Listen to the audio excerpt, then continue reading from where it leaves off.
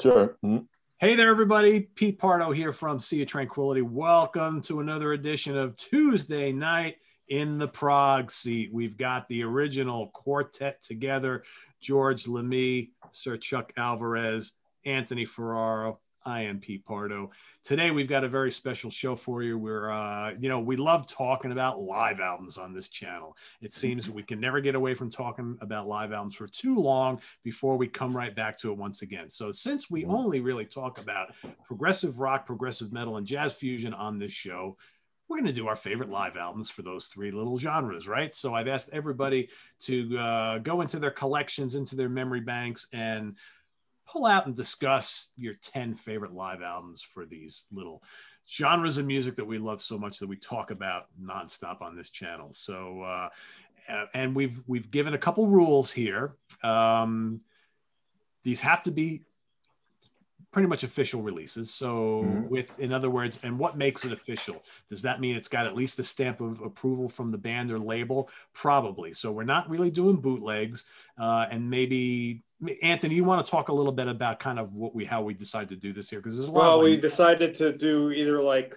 uh, full length live releases or archival releases released by the band, aka something by King Crimson or the Grateful Dead would kind of do, or what Jethro Tull's been doing with the box sets. They've been uh, uh, adding a show from the tour that they released the box set for. Yeah, so these could be recordings from 30, 40 years ago, but they're now making them available publicly. And uh, in some instances, and I'm sure it'll happen today, uh, some of those particular albums in question might even be better than the, the official live albums that they released originally back mm-hmm. in the day.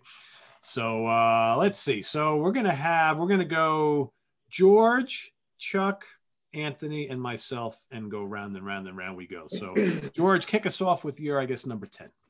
All right from the these guys are the godfathers of Japanese fusion. They are called Prism. Prism. Prism. Oh no, I've heard of Prism before. Yeah. Matter did they play at um Nearfest? Uh, I don't know. Hmm. I know Kenso played at Nearfest. Yes, that I know. Mm-hmm. Great band too. Oh, man, all right, I hate to do it all of a sudden, but I just realized now I didn't pick that damn live Kenso album. George, you're you are so good at like mentioning other bands when you're showing your main band that you're talking about. I'm like, ah, anyway, I, I, I, digress. So Prism. the uninitiated, these guys have 31 albums. Maybe the longest running fusion band in existence. They've been around since 77, no hiatuses, constantly putting out stuff. If wow. there's someone that's been around more than that, I don't know. But uh, this is a archival release. Came out in 2004, but obviously it's called 1977 live at Sugino Kodo, So recorded in 77. Um, at this point, they only had two albums. So they do the, the majority of that material and three covers. Fred by Lifetime, mm-hmm. Midnight Techno by Di Meola, and uh, George Duke tune, which I can't read. That's what she said. Um, incredible production, especially for the era. I, I can't really get over get over how good the sound is on this one, and great set list. And if you can find it, I recommend it. So, it, could you talk a little bit about the lineup? Like, uh, like what kind of uh, what you know? What do we got there? Is that uh, guitar, bass, uh, guitar, bass, guitar, bass, drums, keys, and sax. Cool. All right. All I need I, I need to listen to that band. I think because I, I don't think I've ever heard them. I've heard of them. Yeah. I've heard of them as well. Great band, actually. Their uh, the records are inconsistent, but um, this is consistent record. Very good.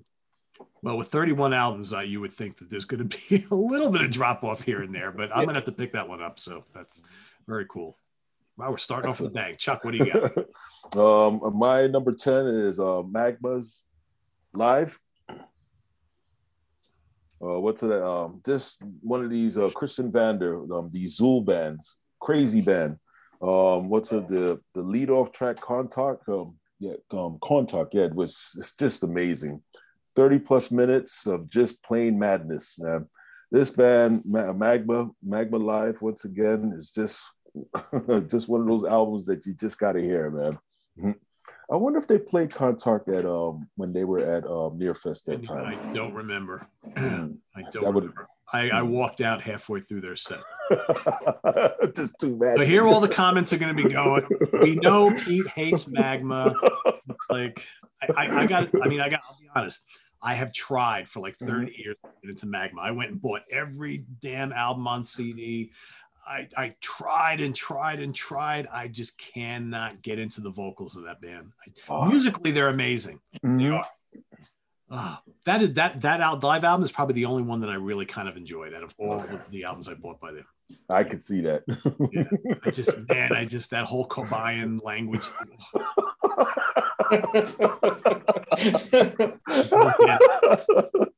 You know, it's like everybody has that band that everybody else seems to like, and you just don't get. Mhm. Boom! it's magma. I've tried. I've tried. What are you gonna do? But cool pick. No, so that, that's good. All right, we're getting off to Anthony. What do you got? Uh, my number 10 is a uh, archival release from the Zappa Family Trust. Uh, we're going to do, of course, an, an Eddie Jobson uh, picture here. Um, Zappa live in Philly, 1976. Uh, the lineup is Terry Bozzio on drums, Patrick O'Hearn on bass, uh, Frank on guitar, Eddie on keyboards, Bianca backing vocals, and uh, and Ray White on guitar and vocals. Mhm. Uh, it's from the Zoot Allures tour. Uh, it was released from the Zappa Family Trust in 2009. Uh, tracks taken from, you know, he's got a, a huge catalog, but uh, only two tracks taken from the Zoot Allures tour or Zoot Allures album. Uh, uh, wind up working at a gas station and uh, the torture never stops. Uh, the highlight for me, though, is of course, you know, Jobson's on this tour. I would love to see footage of it. I don't, it's got to be in the vault somewhere. I don't Mhm. know, but uh, what, what Jobson's what Jobson's violin on black napkins is just jaw dropping. I know people are surprised that I'm saying something like that, but phenomenal, phenomenal archive release. I can't believe it was released in 2009 already. I've had it that long, but this is my number 10. Zappa live in Philly, how, around Halloween time, 1976. You can't go wrong with anything from that period, to be honest. exactly. Mhm. So, are we placing bets on how many times uh, EJ is going to come up in the conversation?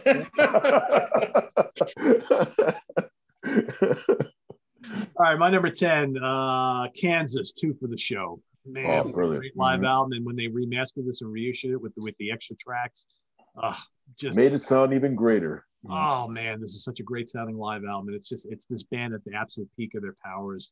You know, unfortunately, this was kind of like the end of their big, big run, right? Because then they Mhm. released Monolith after this, which did pretty well, but not as good as the albums before, and then Audio Vision, so on and so forth.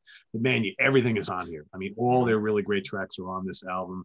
You know, Song for America, Point of Return, Paradox, Icarus, uh, Portrait, Carry On Wayward Son, Journey from Mariabronn. I mean, it's all here. Mysteries and Mayhem. You know, The Wall, Magnum Opus. Uh, it's just such a great, great live album. And then you got, like I said, the bonus disc with all the extra cool stuff. The Spider Closet Chronicles and Hopelessly Human, Child of Innocence. Ah, just mandatory, mandatory live album from one of my favorite bands of all time. So, Excellent. At the height of the powers, Pete, Mr. Walshy, I don't think there was anybody better. Oh, I- his you know voice, what? man. Mhm. I wouldn't argue that at all. There, there's there was a couple of guys around this time period who were just. I mean, he was one. Lou Gramm, Steve Perry, those three guys were like just Freddie Mercury. Brad Delp, you know, that late 70s era who were just like untouchable. Uh, yeah, Walsh is amazing. And and, and Journey from Mariabronn is is like a is a prog just classic. Oh, That whole album, man. Mhm. Now, when I saw them the first time, I saw them in, I saw them three times with, with Walsh. And the first time in 94, they, they did like a little interlude of uh, Journey from Mariabronn. I'm like, oh, talk about it, like just that keyboard riff is just so beautiful. And unfortunately, by 94, his vocals were already slipping. Yeah. so Frankie! savage. Mhm. You? Sorry. All right, George, back to you for number nine. All right. Uh, one thing we all like about live albums is a really good chosen set list and good sound. Yep. Something I like in addition to that is value. Like, don't give me poorly produced versions of stuff that I already bought. Give me a little something that I don't have. Mhm. This album does that. Oh, fuck. Oh, Béla Fleck and the Flecktone. love that album. I, That that I should have picked that as well. I love that album. Mm-hmm. Out of the 20 songs, only eight of them have appeared at this point. So you got 12 new songs basically, either brand new or appearing on other albums outside of the band.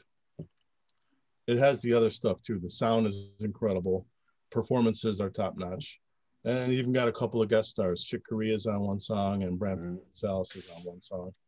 So if you're looking for an entry point for the Flecktones, this is a good one. That's a good, excellent album. And when you think about it, how ballsy is it to release a live album with more than half of the set unreleased material that never appeared on the studio album? Bands will ne- would never do that today. Oh, that- it's very ballsy, like you said. Mm-hmm. And wait, George, what year was that released? Ninety six. Ninety six. Okay. Yeah, that's that's that's very talented, man. Very Mhm. talented, man. Cool choice. All right, Chuck, back to you. All right.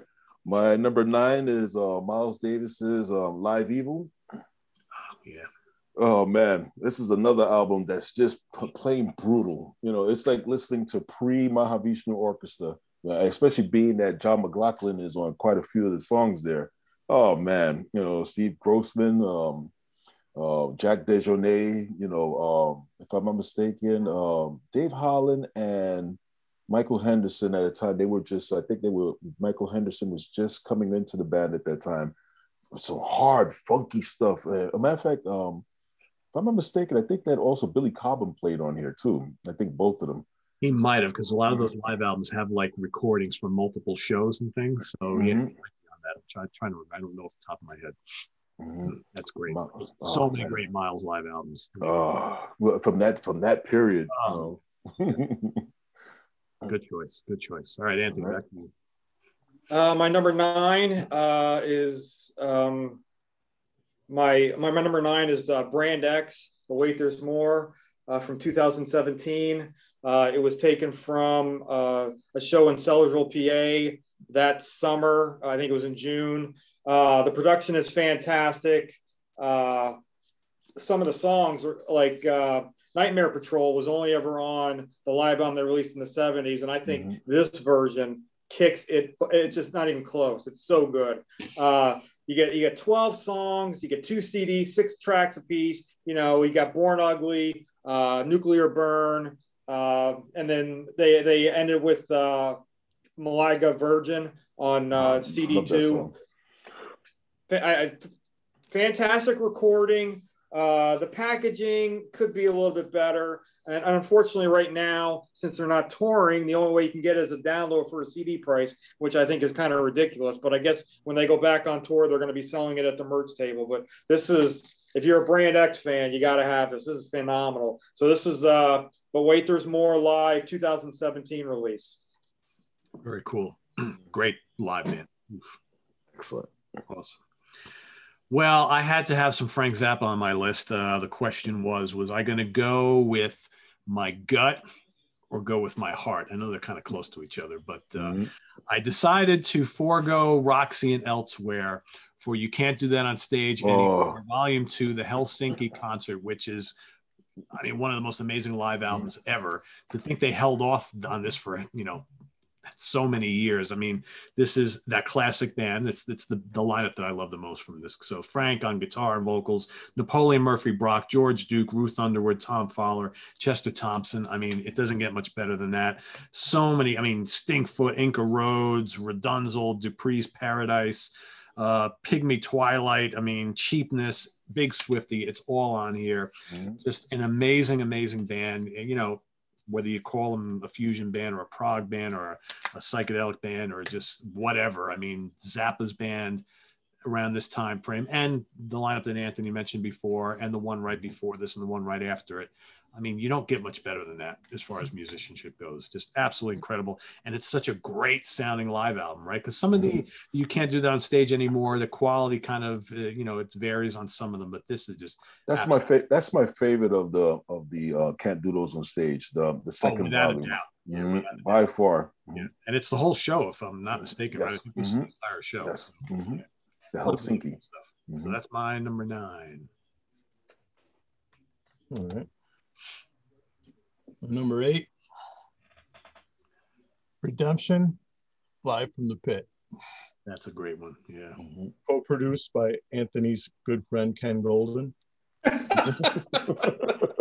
Actually, I think their best sounding album, including all their studio albums. This album sounds great. Yeah. Um, Or live album.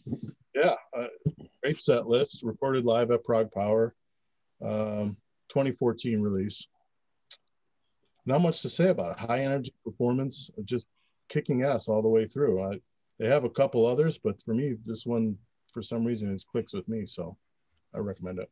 And Ray Alder sounds incredible on that live album. He's Yeah. just such a great singer, right? I mean, Mhm. so great. Great choice. Great choice. All right. Chuck, back to you. All right. My number eight is um, Can um, Music Live 1971 77. Um, well, another band that what's it that usually um, what's it flies under the radar, but just a very influential krautrock rock band. A lot of funky, um, psychedelic stuff on here. Um, things that just continue to just bog- boggle my mind every time I listen to them one of my favorite bands in Can, one of my favorite European bands, that is. So, uh, what's a, my favorite once again? It's Can Live um, Music, um, live 1971 through 1977 double CP, CD. Chuck is two for two today because uh, Ken is the other band that I just don't get that everybody asks me to do shows on on the channel. Uh, well, you're gonna you're gonna find a couple more in here. Oh, Anthony, back to you. Uh, my number eight, my number eight Number eight. is uh, King Crimson live at Milan, 2003, from the uh, Collectors Club from uh, DGM website, which is Fripp's website. But uh, this is taken from the Power to Believe tour. Uh, just a phenomenal recording, uh, you know, with Level Five and Dangerous Curves and Power to Believe and Elephant Talk and you know, I'm a big Blue head, and this is just a phenomenal recording. I wish I had seen this tour. So I bought the album a couple years later and I didn't realize how great it was. But I love the album. Had to have a recording from this. This is a great one. Uh, this is from uh, 2000, 2005, I think. So this is from the Power to Believe tour, King Crimson, and it's uh, number uh, number 39 of the uh, club series. I mean, we could do a whole separate show just on. oh, just on that alone. There's like 52 of them, I think. Oh, man, crazy. But he did it the right way. I mean, you make money off of them. Yeah. Exactly. Mhm. Isn't it interesting that the two official live albums from back in the day pale in comparison to everything they've released since? Oh yeah. Mhm. Right. Yep. USA and Earthbound, which I'd still like, but I mean, Oh, but, but Earthbound, oh, that sound, it drives me crazy, especially when yeah. it's raining. you hear the raindrops, you want to cry. But the fact that they offer recordings from each tour is just awesome. Yeah. yeah, I, I have a whole bunch from the, the couple recent tours. And man, I mean, and I've seen them a couple times live in the last couple tours, but man, the live albums they've released, just amazing. Absolutely. Pete, just how about the drum solo that Gavin Harrison did when we saw him at Radio City? Yeah, yeah. That, was kind of that was a amazing. special show. Yeah. And I saw them at the Egg in Albany, New York, and then that, I saw the show in the city uh, that we were both at, and both of them were just amazing shows, like mind-altering shows. Really, really great. It's fantastic stuff. Too serious though. well, but that's that's how they do it, right? Mhm. Yeah, I know. It's yeah. You you don't go to a King Crimson show to like kind of jump around and have fun. It's, you go and you stare and you, yeah. you clap and then you shut up. You know, that's what Rip likes. But um, yeah, yeah, it is a little creepy. Like they have the, the soundscape music going in the background. And they tell everybody not to talk and no pictures. It's kind of weird, right? It's like you're at Yeah. yeah, like Steve Wilson.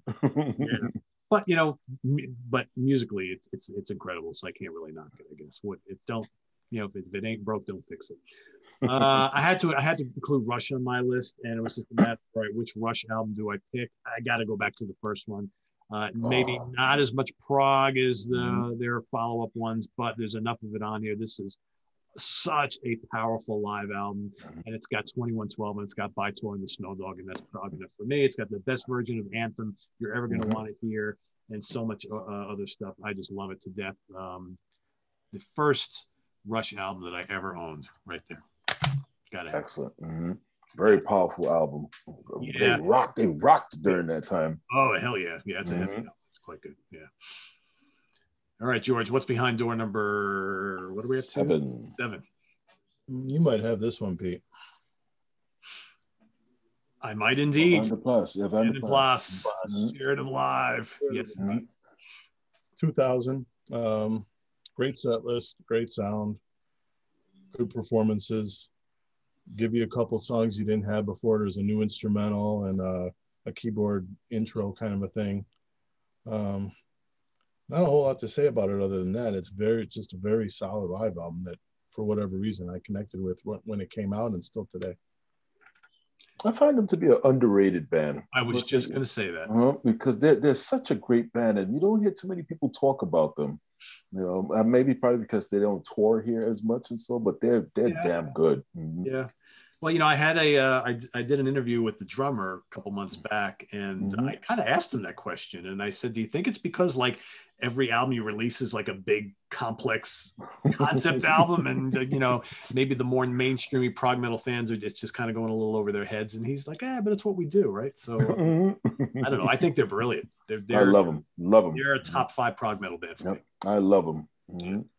I saw them at ProgPower. They went over real well. Oh, good. Mhm. How many prog powers did you go to? Four. Wow, I never made any of them. I wanted to go every year. Mhm. You know what it is? I spent I went to Nearfest every year, and you, that's you know, and then I went to a RoSfest too, and it's like there's only so much you can do, and and I could drive to those ProgPower. I'd have to take a plane too. I was like, eh, this wasn't- I love to. So many great bands. Did you see Savatage at any of the ProgPowers? No. No. Okay. Who was the biggest profile band you saw at ProgPower? Uh, in the genre, probably Symphony X or Kamelot, Okay. somebody like that. Yeah. Evergrey, Oh, nice. Mhm. just genre big bands. They, they didn't book any big, big bands. You know, they would not book Dream Theater. No, but I mean, you know, Symphony X and even Redemption is more upper Mhm. echelon. in I this saw them there. Yeah. Yeah, but I know Savatage played once or twice, uh, if I'm not mistaken, but I just I don't remember what year that was. But uh, yeah, cool, awesome. All right, Chuck, back to you. All right. Uh, my number seven um, is probably a little bit more streamlined in comparison to what I was just picking beforehand. Uh, Caravan, live at the Fairfield Halls, Oh, that's a good 1974. one. Yeah, it's a great one. Yeah. Mhm. That's a good Uh, one. Just for for Richard, uh, um, for Richard, um, Epic the love it. in your eyes. Oh man, the um, what's her main la- um, memory lane and Hugh and Head Loss. Oh, yeah, this is a band that was at right at their peak, the peak peak of their power at the Fairfield Halls. I love this album. When I finally found this album, I couldn't believe that I actually was able to to locate it. Great album. Mhm. Really great band. They had that that little run for about what, like four or five years. That's Mhm. really special. Before they started getting a little poppy, right? Because right after this, this is when they started becoming popular. Yeah. You know, because they tried to break into the um, the U.S. scene and didn't work out. No, gee, we've heard that story before, haven't we? Definitely. Mhm. All right, Mr. Anthony, what do you got next? All right, my number six is going to be another archival release that was released in 2014. Mr. Steve Hillage, live at MSG, 1977. Uh, this recording was taken on uh, when he toured, um, when he was an opener for ELO that year. Uh, Mr. Ken Golden saw the show that I that saw this release, said it was amazing. Uh, basically, it's the tour for Fish Rising and L. Uh, Hurdy Gurdy Man, Hurdy Gurdy Glissando, uh, uh, It's All Too Much, uh, Lunar Music Suite, uh, about six tracks and a couple studio tracks with Rick Wakeman's on one of them. Uh, this is a fantastic live record from Hillage. I, I have a ton of Hillage stuff, live stuff, and this is one of the better ones. So um, MSG, Steve Hillage live, 1977. Very cool. I'd argue that his live stuff is even more exciting than his studio stuff. Oh Definitely. Mhm. So we'll see come Thursday night how many times Ken uh, name name drops you in the show, right?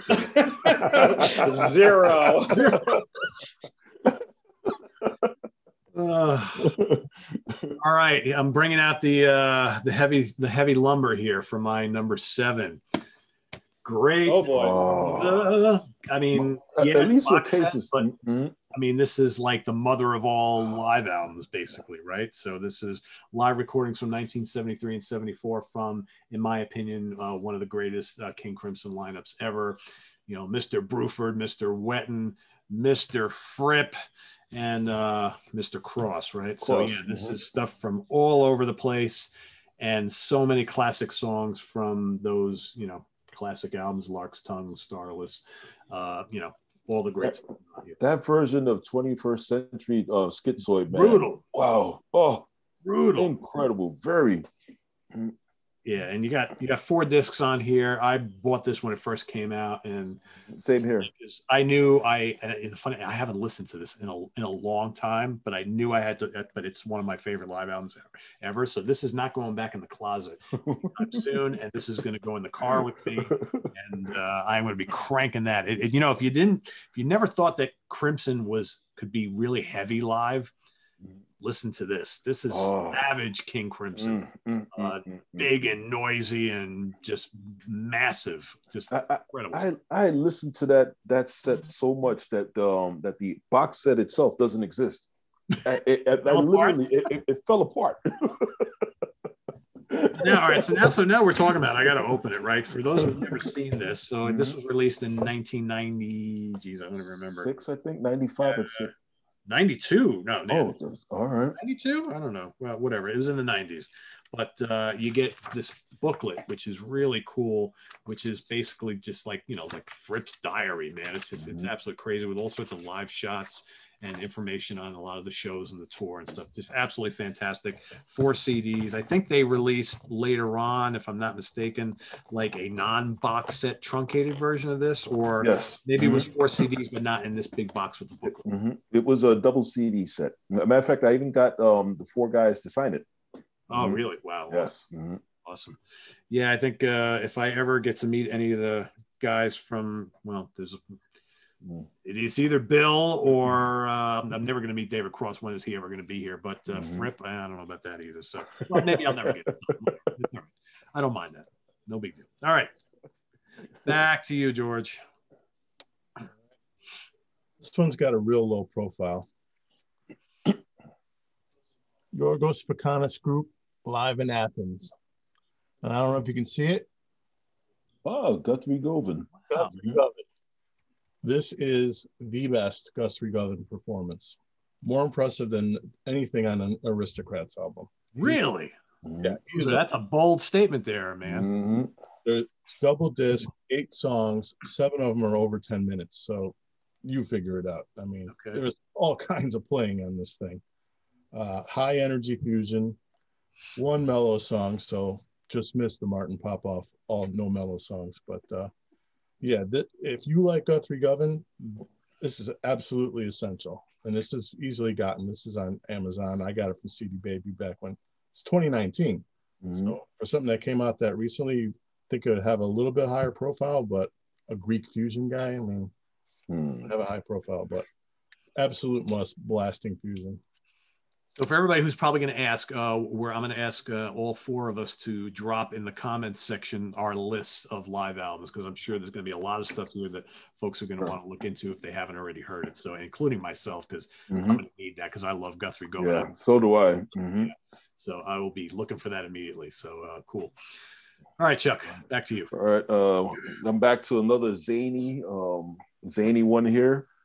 Uh, Cardiacs, um, Cardiacs Live. Um, one of the zaniest bands that you could ever hear. Um, what's there? a mixture of like XTC mixed with like uh, power pop um, and also a bit of metal too. Um, one of the craziest bands that I've ever had uh, listened to, Cardiacs. Um, which are, you know they, they really didn't go over too well when they um, opened up for Marillion back in the early 80s but um, they were totally different i know fish was very high into them and members of radiohead loves them as well so this is one of those other crazy um, zany ones that i picked out cardiacs live cardiacs live um, just a great band man Very cool. Yeah, I've heard that name for a million years. I don't think I've ever listened to them though. uh, that they might be too crazy for you yeah what's it Well, I, I, I'm always willing to give everything a try. So, Mm-hmm. all right, Anthony, What do you got? All right, number five is another archival release. Uh, it's part of the Steve Hackett Defector uh, studio release in 2015. Uh, the second disc is live at the Reading Festival in 1981. Uh, it's for the Cured tour, but uh, some of the Cured songs uh, actually have a drum sound as opposed to the drum machine on the studio album. And they, I think, really shine live, like Overnight Sleeper. But you have every day, every every day, Ace of Wands, uh, slogan, Spectral Mornings. This is just, I have a lot of Steve Hackett live recordings, and this is just another top notch one from uh, 1981. So it's uh, disc two of the Steve Hackett Defector release that was released in uh, 2016. And you get it real cheap on uh, Laser's Edge for seven bucks. So this is this is a steal if you want to get some good live Hackett from 81. Shameless plug number three.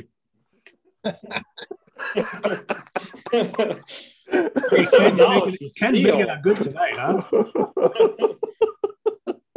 I but I will second the notion on that. That is a fan. That is one of the best uh, Hackett live albums that I've heard. That that's quite really good. All right, uh, I have a feeling someone else on the panel might have this in their list, but uh, that's okay. We haven't duplicated anything yet. Uh, I'm going to go with a little weather report live in Tokyo. Yeah, had to be right. I, I, I almost picked 8:30 because mm-hmm. I like 8:30 a lot too. I was like, eh, I think this is their best live album, and this is you know the uh, the early lineup, of course, with the uh, Zawinul and Shorter and uh, Miroslav Vitous, and who was on drums on this album? Eric Gravatt.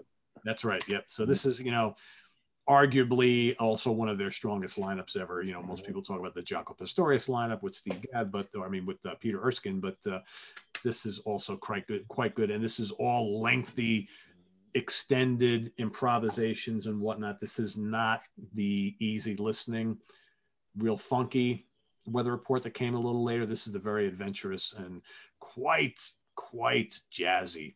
Oh man, Sur- Surucucú and um uh, Surucucú and directions. Uh, oh, unbelievable. Amazing. Mm-hmm. And, and, you know, all long tracks on here. You know, what else? You got uh, Dr. Honoris Causes on here as well. Just uh, just amazing stuff. Well worth finding if you can. I'm pretty sure this is still available, but I remember when I first bought I bought this after I was already, you know, pretty firmly entrenched in the Jaco era. And then I heard this and I was like, whoa, wait a 2nd mm-hmm. That's a little different. Uh fantastic, fantastic fusion album. Excellent pick. All right. My number five. Fates Warning, Still Life. yeah. Double disc. The first disc, uh, their 54 minute masterpiece, Pleasant Shade of Gray. Then they set, kick off the second disc with another 20 minute song, Ivory Gate of Dreams, which is great. Uh, set list across both discs is incredible. Great live sound to this. And uh, like we said earlier, Ray Alder sounds good on the Redemption. I think he sounds better mm-hmm. on this. Okay. Yeah. Well, that that is that for me is that band probably really peaking. I think. Yeah. Could I mean, they sound perfect on this. Yeah. And there's a couple guys here that I don't think played on any of the records. Bernie Versailles and Jason Keyser. I don't. They can't keep a stable lineup. well, you know they have the, they've had an issue with like lead guitar players, and, and you know mm-hmm. Jim does most of the guitar work on a lot of the studio albums. I mean, mm-hmm. Bernie did a bunch of live tours, but he, I don't think Bernie ever appeared on a studio album, did he? I don't think, I don't think so. Frank, it was the same thing with Frank Aresti early on. Frank appeared on a couple uh, studio albums, and then he was just playing live, and then he left, and he came back. But Bernie, Bernie's a great guitar player. Bernie is, is mm-hmm. Bernie okay? I mean, I know he was really sick for a while. Um, I, I, he had uh, aneurysm. That's yeah. what it was. Yeah, it was an aneurysm. Mm-hmm. Hmm. Still can't play, but I guess he's getting by in life now. So yeah, it's a shame. It's a shame. But yeah, it's a great, uh, awesome live album. I love Ivory Gates of Dreams. Oh, it's such a killer song. so good, so good. Good choice. All right, Chuck. All right, my number five is um, uh, we've been speaking about him for quite some time. Um, Jean-Luc Ponty live. Um, you know, it's just one of those albums that we speak about all the time you just wish that there was like another uh, two or three hours worth of music left um, to put onto this album. I would I um, would have killed for 30 minutes more. Oh, you're not kidding. What a what an outstanding album. You know, it made all of the the great songs from his prior great albums even better live. You know, it didn't need a. Um, you know, well, we're not going to get into Holdsworth now, but um, you know, which this album was just this great, and just too bad it's less than forty minutes. Yeah. Oh man. And you know what? It probably would have made my list if it was if it was longer. I, it's Mhm. it's in my like honorable mention, my second little batch of stuff, and I was like, Mhm. I love it to death, but I'm like, uh it's like literally like what 38 minutes or something like that. Oh yeah, that's it. Mhm. Yeah, another one of those classic live albums that should have been a double. Mhm. A lot of those. Yep. All right, Anthony, I, I think you have another archival uh, release for us, right? I actually do. this is my this is my this is the last one of the bunch. This is my number five. Uh, it comes off my favorite. It, it's from my favorite album that they they toured with, uh, Permanent Waves, 1980, taken from a couple various stops. Uh, I could do without this cover, but it's still a great archival release.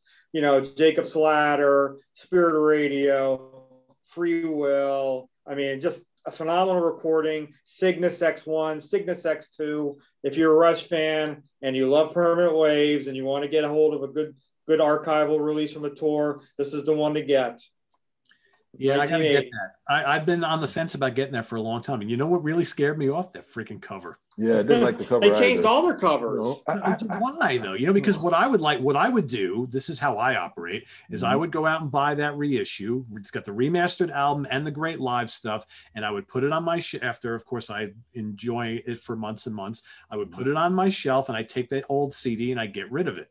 But I will never do that because it's got to have the original cover. Yep. cover. Yep. I mean, Oh, to me, I was like, I, "What are they doing here?" You know, I thought it was a comedy. I thought it was a comedy when I first saw. it. I was like, "Is this real?" oh, So when, when they do the uh, signals one, are they going to put like a goat on it instead of a dog? Or? Oh, oh, you're the- saying I should get it anyway, right? I'll I trust your judgment. If, if It's it's good. I mean, I any any you know they, they hardly ever play Jacob's Ladder, so that's one of my all time favorite tunes. And to hear the Cygnus stuff live is pretty cool. so I Oh, should just get that. my favorites. Mhm. All right. Well, you've convinced me. I'm going to go do that. I'm going to have a, a hefty Amazon bill after this show, I think. Thanks to everybody here. Except I'm still not buying that Can album or that Mac. I'm not buying that. Actually, you know, there's a, there is a can album you might dig is uh, Future Days. It's very Floydy. Mhm. It's like different from anything else that they've ever done. Because I thought Tago Mago was terrible. I bought a couple of them like 20 years ago. I'm like, what is this? But people look at me like I've got three heads. oh man, I think. Oh, I'm gonna get I'm gonna get rammed for that comment. The proggers will be on the hunt. Look at oh man. Bursting out by Jethro Tull. I mean, Ooh. uh, you know, I there's some really good Tull live stuff out there, like in the box sets, and they've released all sorts of live albums through the years. The Carnegie Hall stuff is great. The Isle of Wight stuff is great, but I was like, Oh. ah, you know what? But this is this is just amazing. Great double live album. This is Great, all great, great, uh, mhm. arguably- great lineup. Mhm. Oh yeah, absolutely. Uh, the set list is great, and you know, a lot of people cite this as probably Tull's strongest lineup Mhm. and I wouldn't really argue with that. Uh, Anthony probably likes the one that came after for a certain reason, but that's okay. Well, no, I, I I really believe you know Barlow and, and Glascock were formidable as, as, as a rhythm section. That's Oh, Yeah. I, I thought they were awesome. I'm- I'm just- lived too long. He died too um too early. Mhm. Yeah, oh, big time, big time. So, uh, but yeah, I mean, everything is on here. So, it's such great performances. Martin Barre sounds amazing on here. You got, uh, you know, David Palmer and John Evan, and you know the rhythm section, which we just mentioned, and Ian sounds fantastic. A, a Dee Palmer. right then, yes. now Dee, I know. I, I went through that today because I was I reviewed the uh, the Talus uh, uh, CD that Anthony bought for me, and uh, I had mentioned now Dee, Mhm. then David, right? So got to got to be correct on that stuff, right? Mhm. All right, George, back to you. All right. Got our first repeat. Got to have it, right? Mhm. I fully admit this is largely nostalgia. I mean, after the Kiss live albums, this was the first live album that I probably just sat and listened to and listened to and listened to. Uh, but everything you said is true. The production's great. The set list couldn't be any better. And it caps that whole era. honestly, after it was all downhill from here. So, I mean, you can ask for a better ending of sorts. So, I say you got to upgrade your copy and get the one that I have. although I was a little disappointed at this, the that bonus disc. All I really, really wanted was the Spider and Bellex's. Maybe uh, what's on your mind on my mind, but Hmm. all the good stuff Yeah. on the first disc. Hmm. Yeah. I think I might have to ask someone if that stuff is available somewhere. Hmm. Hmm. Hmm. It gets dangerous when people start going. Hmm. oh man. All right. Well, my number four um, probably might be a little bit more um, streamlined as well. I don't know if everybody's going to be too crazy about this one, but it's um, Gong Live, Oh, etc., uh, etc. Great album. Mhm. Ah, great album. Yeah. Uh, um, what's a once again another great band at their peak with um, one of their great lineups, just playing some of the most amazing music ever, man. Um, what's it? Um, I know that um, the CD that I got didn't have the two, uh, the the two. Um, It's missing two tracks, right? Yeah. Yeah, mhm. So, uh, but I have those on, if I'm not mistaken, on Angel's Eggs. So those two songs that are missing from here are, are on the reissue of Angel Eggs, Mhm. Angel's Egg. Mhm. And so my number four is Gong, etc. Live, etc. I believe that is the first album I ever owned that had Hillage on it. Yes, That was kind of that was my introduction to his guitar playing. I was like, oh, this guy is, you know, Mhm. I had this on vinyl. You know, so that's you know the, on vinyl. This is even better because you know this around here spins around and oh, ah, those were the days. very cool. All right, Anthony. Uh, my number four is not an Mesmerize us. archival release. It's actually a full release. Uh, Porcupine Tree, live at Tilburg, Oh, yeah. uh, 2008. Mhm. saw the tour i've said before uh just you know you, you get a dvd of the tour you get two full discs of just power from the fear album and then you get uh you know you get oh normal you get the, the four tracks that they left off and they made the ep ep is on here uh a couple of the uh uh, the tracks from the vault from In Absentia, like Drown With Me, and they do Sever, and they do uh, Sleep of No Dreaming from uh, what's that album from 1996? Um, uh, and um, uh, uh, Anise, uh, uh, with the, I- I with girl forget. on the with the girl on the front, right? With yeah, um, I, I, mhm. but th- th- those two tracks, are just Signify, stellar Signify. that's it. Mhm. Yeah, Thank you. Signify. S- But Sever and Sleep of No Dream, just amazing. So uh, Porcupine Tree, Anes- Anesthetized from 2008, live at Tilburg.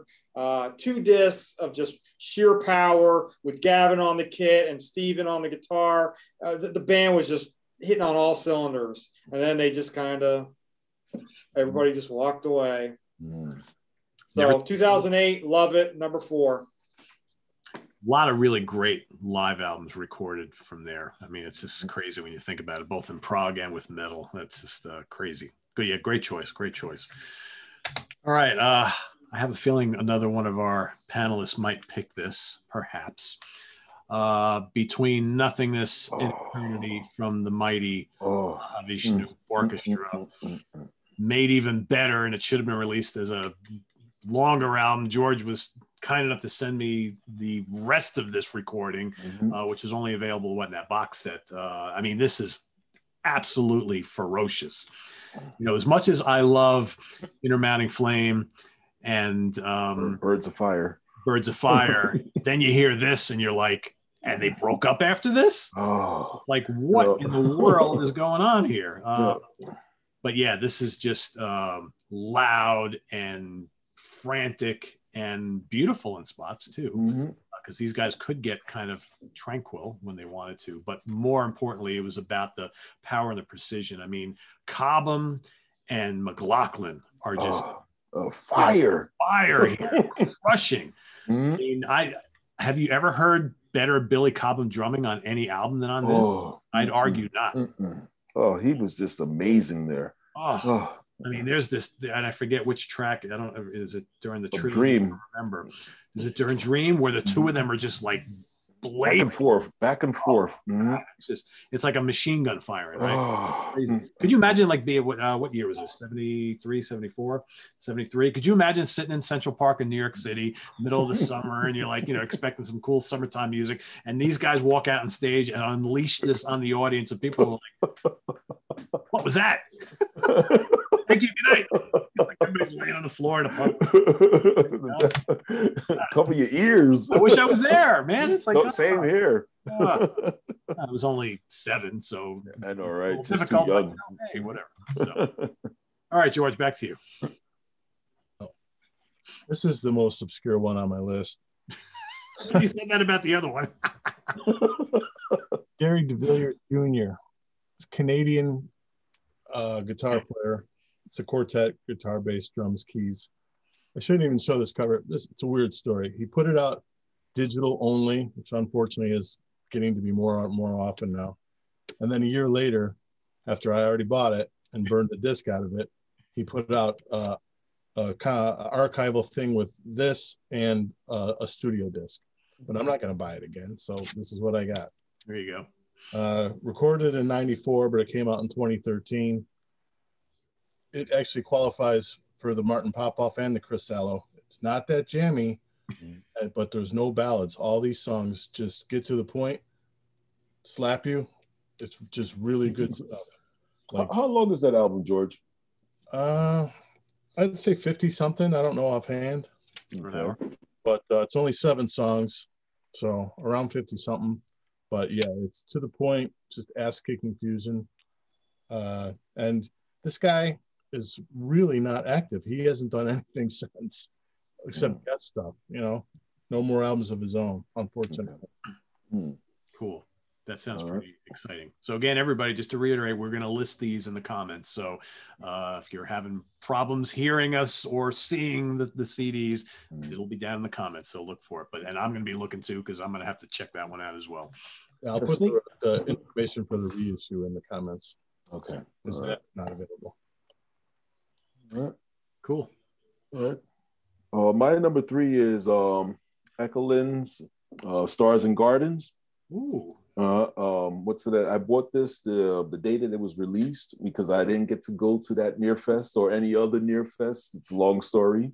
Oh, you didn't Um, make any of them. no, Uh, I didn't make any of them. I, I actually had um, every money saved up for four of them, but I just things just happened that I couldn't even make it.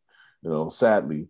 Um, what's the Echolyn is one of my favorite bands. Uh, probably one of my my favorite progressive rock bands of this generation, and I bought it uh, mainly for for Mei. You know, because I, I couldn't believe that they actually played Mei live. I remember Lewis was talking about that a couple of weeks ago. Um, Mei is my favorite album from Echolyn. And what's a, when you hear just the rest of the band playing hard and, and rocking on this album, I'm actually quite happy with this. Stars and Gardens, Echolyn is my number three. fine choice. Mhm. Fine choice. All right, Anthony. Uh, I guess I do have an archival release. Mhm. Uh, Pink Floyd, 1980, 81, live at Wembley, doing the full of the wall. Uh, you, I, I I adore this album. Uh, the live record is just the live CDs are just phenomenal to hear it in its entirety, in order. Is just it's it's absolutely gorgeous stuff. And if you're a big fan of the wall, you have to get this. Pink Sounds Floyd, The Wall, live. live, Mhm. live at Wembley. Just, Mhm. just amazing, amazing. Just to hear it live is just unbelievable. What a band! What's the, my late Chihuahua? She chewed up um, a couple of sides of that of that set. Good. Now I just Now, before now we the know why she's a, the late Chihuahua, right? just before the lockdown, uh, the Pink Floyd tribute band, The Machine. I don't know if you've ever seen them, Pete. They're from up, up around New York area. Yep. They did the wall in its entirety, and it was pretty impressive. Yeah, they're really good. They're they're very popular around here. Yeah. So anybody is anybody but me like waiting for the day? You have to imagine it's going to happen someday. That someone in the Floyd camp or a record label is going to take all the audio, the soundtrack to the Pompeii film, and put it out as a damn live album. Oh, Are they ever going to do that? I, I I, wish. I, I really wish. Mhm. I mean, I, I, lo- I I love that that I love that film. oh, it's so good, and it, the Mhm. music is so. They were so amazing there. It's like just take all that audio, put it into a onto a live album, and release it. You know how much money they would make? Oh, I guess they don't care about it. They'd just be like, ah, we got it done. I care. Like, release it. All right. Uh I this could be well, I don't know. It's in my top three. That's that's shows how important it is. I love this band.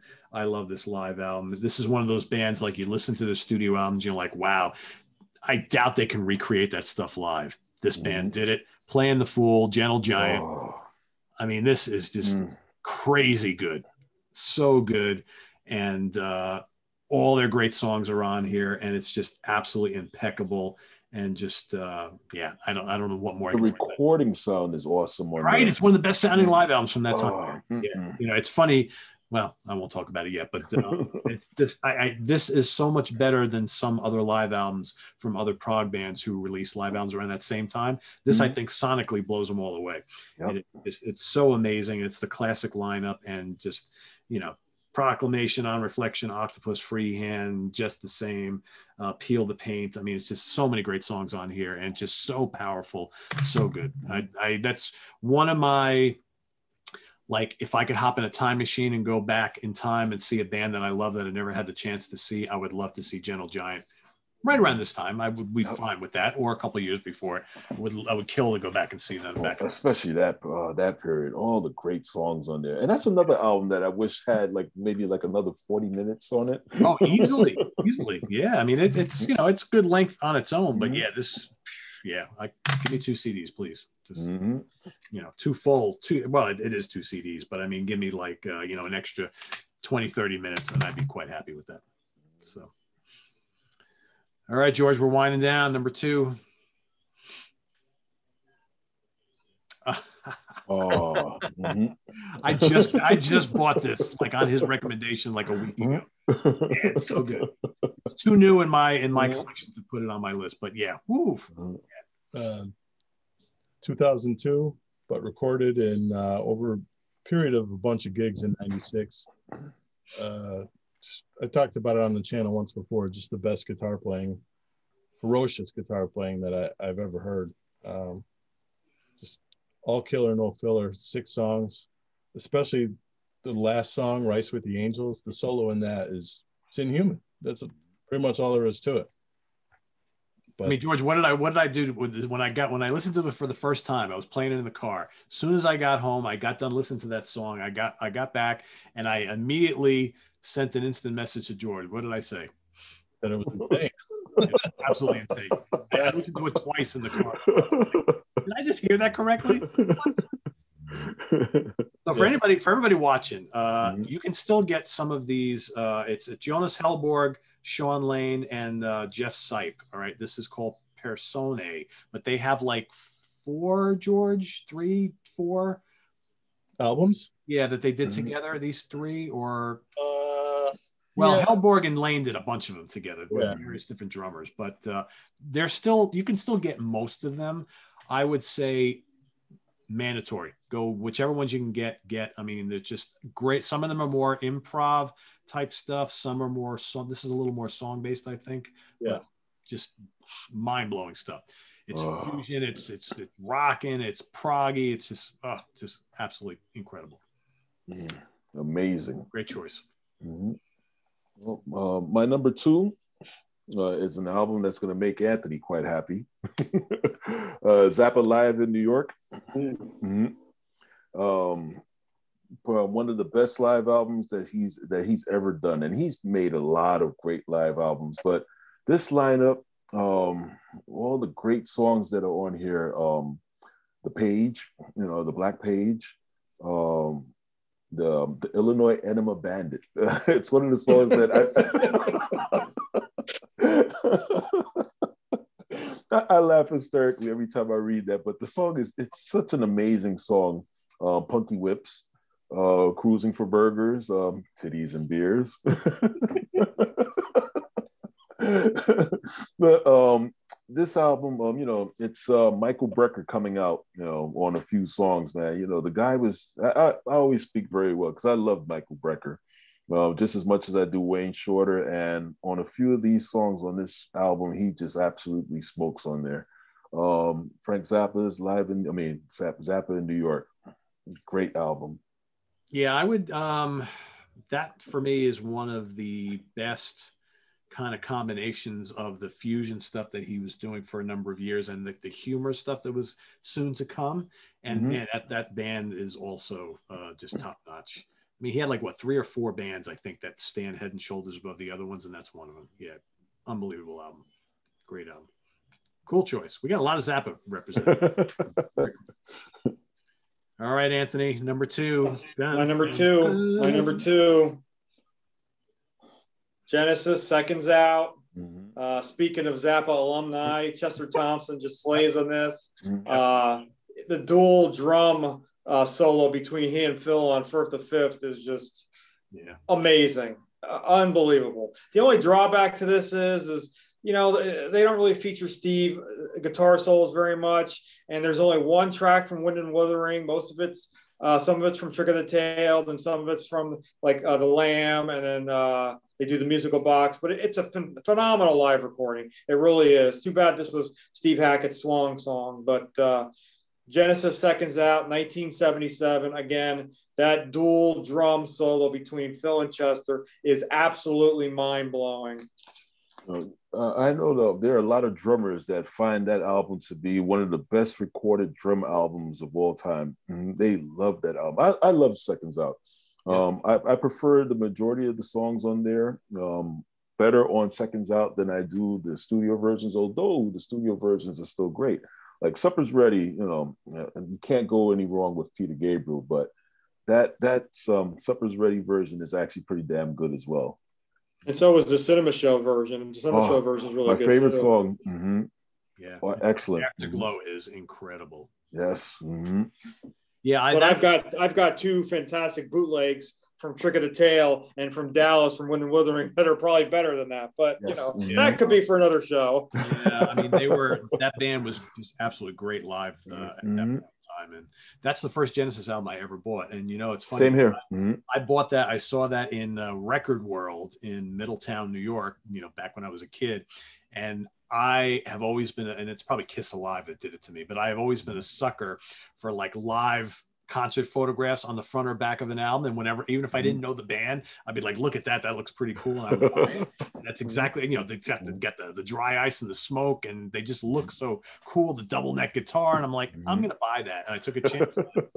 and so mm-hmm. I got to, you know, know a lot of those songs with Phil singing before I heard Peter singing them. Same here. So, mm-hmm. it, uh, so, and I was perfectly fine with that. But yeah, the, um, the live stuff from uh, Trick of the Tail is just killer on there. Yeah, mm-hmm. robbery, assault, and battery. Mm-hmm. Yeah, yeah, it's great stuff. Great choice. Um, we might be speaking more about that in a minute. So uh, I'm going to go with Yessongs, my number two. You know, amazing. Uh, yeah, I mean, what more can you say about this? This is just absolutely fantastic, and uh, the band, a band at the absolute height of their powers with, you know, arguably their classic lineup. Well, some people with Bruford or with mm-hmm. White, right? Whatever. But uh, I mean, all of their great tunes up to this point are on here. It's just absolutely fantastic. And yeah, everybody complains that the sound of the album isn't great, and same thing with the movie and all that. I don't. I, I, I, still think it's great. I don't care, right? You know what? Going to see them live. They're going to sound like that, right? So mm-hmm. I think uh, we've all been spoiled by so many of these pristine live albums that you know something that sounds like you were there is is okay too, right? So, mm-hmm. but yeah, and this is Steve Howe Yours is no disgrace. Oh my God, so good on here, oh. so good on here, and it's this is almost like the Steve Howe and Rick Wakeman coming out party. This album, mm-hmm. it's just, it's so great. So, and I and I've loved this album for. And I remember the first time I saw the Yessongs movie on like USA Network. Like, remember that old night flight show? They used to show yeah. like concerts and stuff on a Friday or Saturday night. Mm-hmm. It's the first time I ever saw that. That was probably the late 70s. And I was like, wow, that's great. That's really good. I got to go out and buy some. I got to go out and buy some. Yes. And what did I do? The new album at the time was Drama, so I bought that. I'm like, oh, this is different. That's not the same. And I saw. That's a story for another day. Mm-hmm. All right, number one, George. What do you got? Well, you know how you said that the Flecktones were brave to put a half new live album? Yep. This band's album is entirely new, and it's the fourth out of five in a row that were all new live albums. We're talking about Snarky Puppy. Oh yeah. Oh great. yeah. We Mhm. like it here. Mhm. Yeah. hundred percent brilliant. I Mhm. mean, everybody knows Lingus now by now. It's a viral tune Mhm. because of just ridiculous keyboard solo from Cory Henry. But the entire album is at that level. I mean, there's no down parts to any of these songs. It's just utterly ridiculous how good this is. 2014 release. Um, the one after it's great too. It's uh, with an orchestra, almost as good as this, but this has just got that little something extra, and uh, comes with a DVD too. So can't beat it. Can't beat that. Excellent. I mean, how cool is it that we have a band like Snarky Puppy in this day and age? Oh, oh, man, what's a well needed? Win or get nominated for a Grammy like last year or something like that? Two this- years ago. Two years ago. No, they won this year. Oh, well, oh, they did win this year. Okay. Uh, their official live album that they just put out another live album. That one's like a typical live album, uh, showing stuff from the studio albums.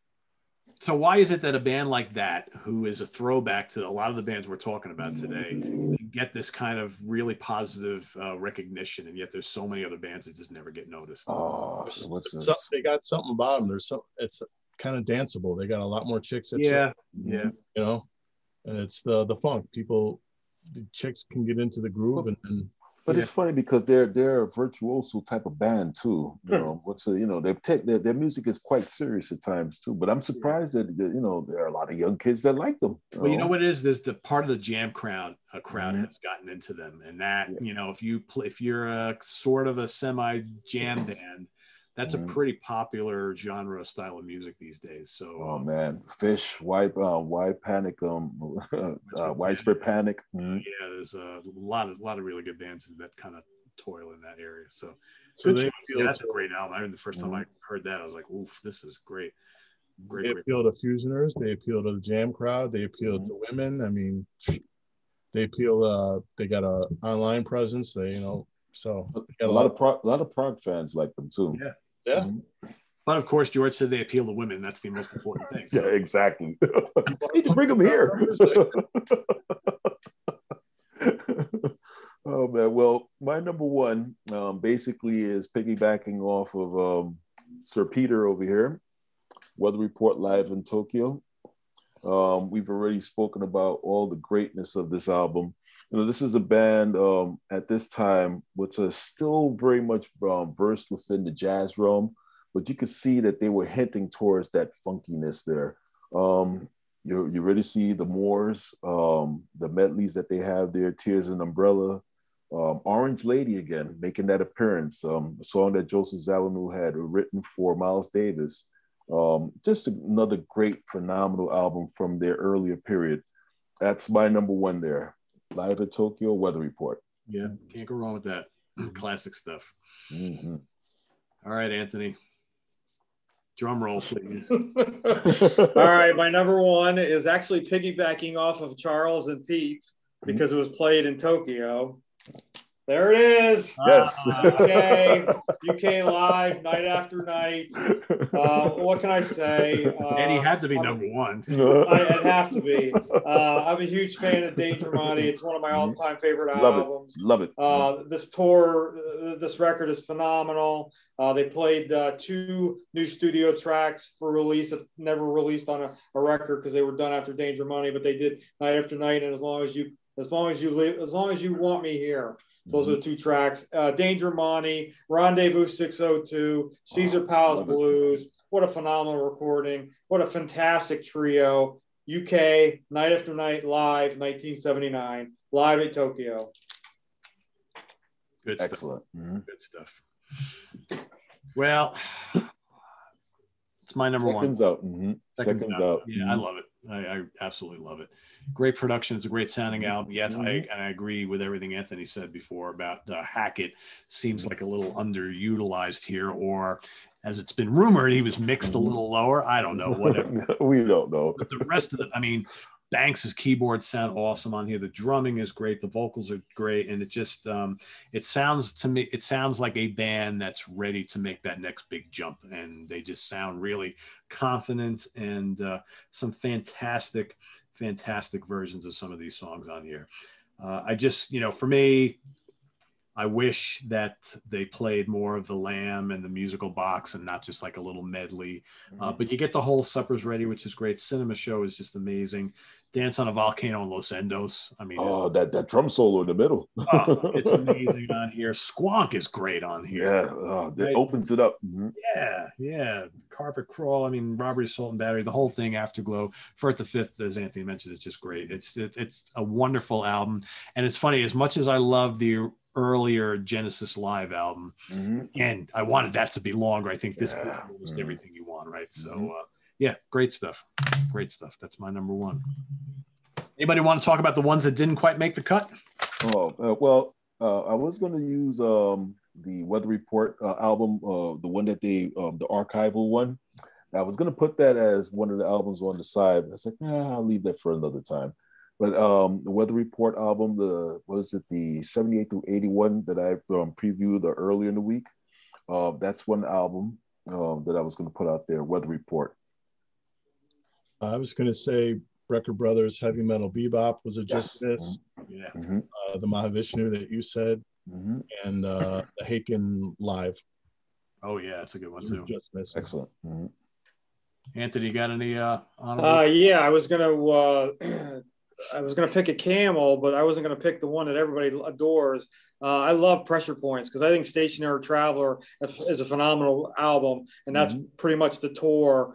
Most of the songs are on. It's like a, you can get a two disc of it, and it's just phenomenal. And then Pete Bardens makes a guest on one of the uh, Camel tunes that they play from uh, Snow Goose towards the end. He makes he get, makes a guest appearance. It's I think it's from the uh, Hammersmith Odeon is is where the show's from, but. Uh, one of the guys who played in um, Alan, I think it was Alan Parsons. I can't remember. Uh, Chris something is one of the lead singers, and he does a fantastic job on those stationary traveler tunes. I mean, Andy Latimer live, uh, like the opening track, Pressure Points, is mm-hmm. why I love Andy Latimer so much because it's an opening track instrumental, and that tone, it's just.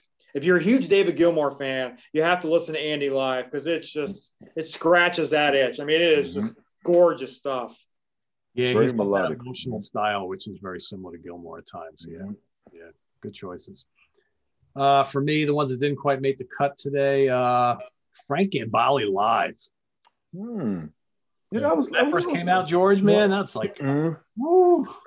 I was just watching video on him also um, after we got off um, our chat.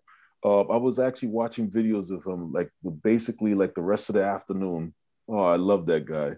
Oh, he's so cool, and he's such a like fun, lovable dude, right? He looks like it too, man. There's that one, uh, Miles Davis uh, Agharta. oh, I was gonna pick that one too. Mhm. That's pretty Especially that one. Mhm. dense and dark and out there. And, yeah, that's like that's got the two guitar players just Mhm. stepping on the wah wah pedal and going berserk, and Oh Miles man. hanging off somewhere in the bathroom somewhere. You kind of hear him down the hall, whatever. It's so good. Um, I, got the Ponty live, the Brecker Brothers album that you mentioned, uh, the Shawn Lane uh, live album. Uh, what is it? Um, Power Powers of Ten live. That's amazing. Um, Dixie Dregs. Uh, they're they have a couple. United Drugs. albums. Bebop Deluxe live in the Air Mhm. Age. Mhm. And I just put down Dream Theater because Dream Theater has like a million great live albums. I couldn't decide which one. I was like, yeah, they're all so good, right? Here. Thieving Magpie by Marillion, um, Mhm. Utopia, another live. You know, there's so many of them. I mean, we, we Mhm. could have done a five hour show here today. Oh, we could go on forever with that. Yeah, a lot of good stuff. So there you have it, everybody. Uh, some of our favorite live albums that fall into the prog rock, prog metal, and jazz fusion spectrums here. So everybody watching, uh, list them below. Uh, they'll be your favorites. We'll be happy to take a look at those and see what everybody comes up with. I want to thank uh, these fine fellows here for putting some work in here and coming up with some really. Uh, this we barely overlapped on anything. That's pretty Mm-mm, cool. Very cool. Well, there was a couple of albums here that you weren't too crazy about, but That's it. I mean, it doesn't matter what I think. You love them, and that's all that matters. That's that's the name of the game. I, you know what? I I can't like everything, and uh, but there are a lot of you know that's that's the way it is, right? We all we all have different things here, so it's uh, exactly. what, it, what is something that I can't listen to can be someone else's favorite, and that's the way it should be. So Pete, the, the Chris I was thinking of is Chris Rainbow. That's his, that's what I was gonna say. Chris Rainbow mhm. sung very well on that album. Yeah, just one it was like a one shot deal, but man, Mhm. oh man, good pipes. absolutely cool. So uh, there you have it, everybody. So stay tuned. Uh, we're actually going to have another a special edition of In the Prog Seat this Thursday with uh, Ken Golden, Steve Feigenbaum from Laser's Edge and Cuneiform. We're going to kind of I'm going to talk to the both of them uh, about kind of the state of uh, you know having a label in, in the industry Mhm. today. Like, what's it like to have a retail outlet and uh, you know an online store and producing your own albums and releasing your own albums and kind of how that works in this day and age when you're trying to sell and produce and distribute you know progressive rock and fusion and jazz and all that kind of stuff. So they're going to talk a little bit about that so stay tuned for that on thursday. But uh, we will have a very cool show for you a week from tonight. So uh, it has been a long time in the making. So we're going to have uh, two of the well three of us here and then anthony's going to sit this one out and he's going to be watching from the sidelines. Mhm. learning a little bit i think on some allan holdsworth right? So uh, anthony was uh, kind enough to say you know what? I'll sit this one out. We'll have sean tonar come in and basically we're going to give our five favorite each of us our five favorite allan holdsworth solo albums and then our five favorite Allan Holdsworth appearances on other people and bands uh, albums. So that's uh, that's been in the works for quite a while, and that's happening a week from tonight. So stay tuned for that. And then uh, Anthony will join the fun the following week.